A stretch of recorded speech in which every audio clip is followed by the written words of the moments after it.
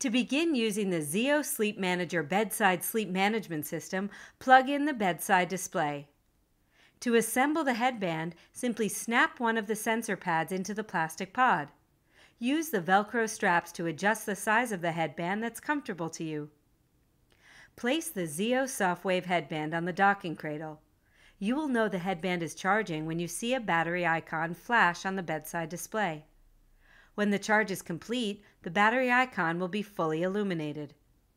The headband will need to be charged for at least two hours in order to record data for an entire night's sleep. It is also important to keep the headband charging on the cradle when it's not being worn at night. Just before going to bed, remove the Zeo Softwave headband from the docking cradle and place it securely on your forehead. When you are wearing the Zeo headband, it's important to make sure the bedside device is in the same room, no more than 25 feet away, to ensure the wireless transmission of data. In order to get the most accurate sleep data, you will want to put the headband on right when you are ready to go to sleep for the night.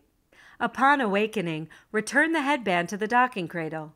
Your bedside display will show you an array of personal sleep information that has never before been available to consumers at home, including the amount of time spent in deep and REM sleep and other important data, including the number and length of awakenings throughout the night.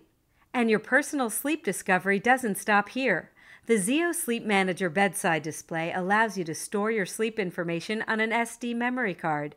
With your SD card and its USB adapter, you can easily upload all of your sleep data to the MyZeo website. And begin to spot trends in your sleep, as well as links to how lifestyle choices like exercise, diet, stress, and environment may affect your sleep. In addition, the bedside display offers two wake options standard wake and smart wake. The standard wake feature works like a regular alarm clock. Smart Wake will wake you up at your optimal time during your sleep cycles. Science has shown that when you wake from a lighter stage of sleep, you are less likely to suffer from sleep inertia or feeling groggy. Now that you've had the chance to explore MyZeo, don't forget to remove the SD card from your computer and place it back in the SD card slot of the Zeo bedside display to record tonight's sleep data.